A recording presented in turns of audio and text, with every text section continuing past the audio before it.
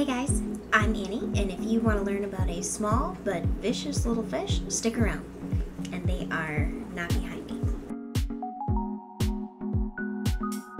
Meet our bucktooth tetra, or Exodon paradoxus. These guys are actually fairly easy to care for, but extremely difficult to keep with other fish. It's actually probably best just to keep them in their own species tank. These small fish have a big personality. Native to South America, these guys will eat just about anything I put in the tank for them. We drop frozen bloodworms in there, krill, little pellets. They swarm like bees. Some of their coolest behavior to watch is them eating. Here, check it out. It's just, it's one of the best things about these fish.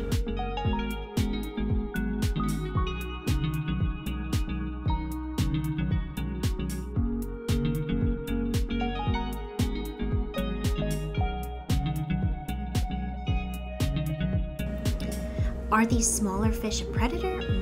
Munching little parasite. These fish actually don't benefit from the death of a fish, they just enjoy the scales. So they're not actually going out there to kill the fish, they just want to eat the fish's scales.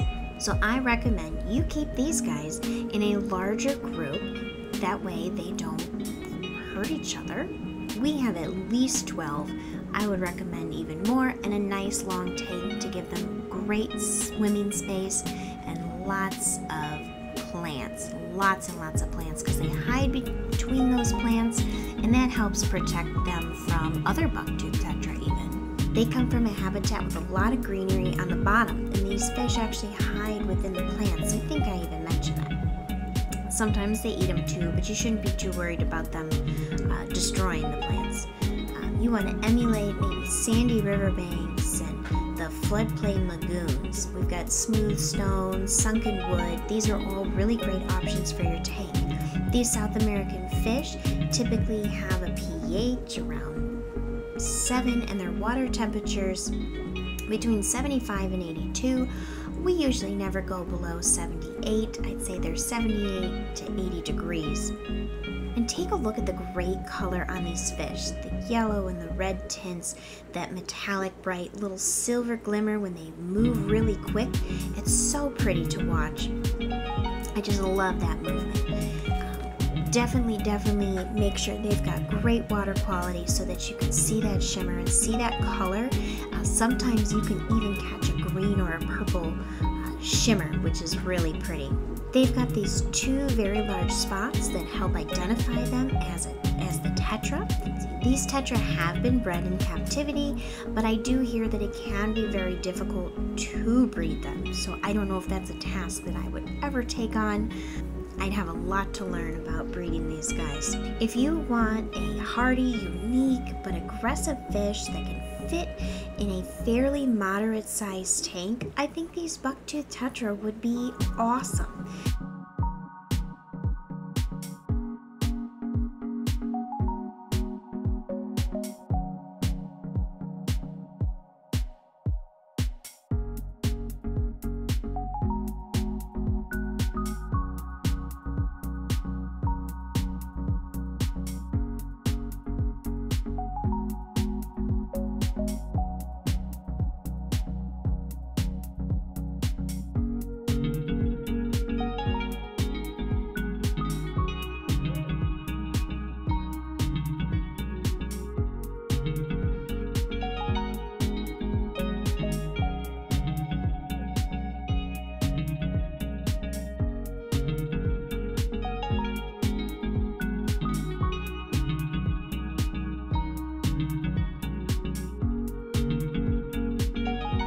Thanks for watching, subscribe, hit that bell, and see you next time.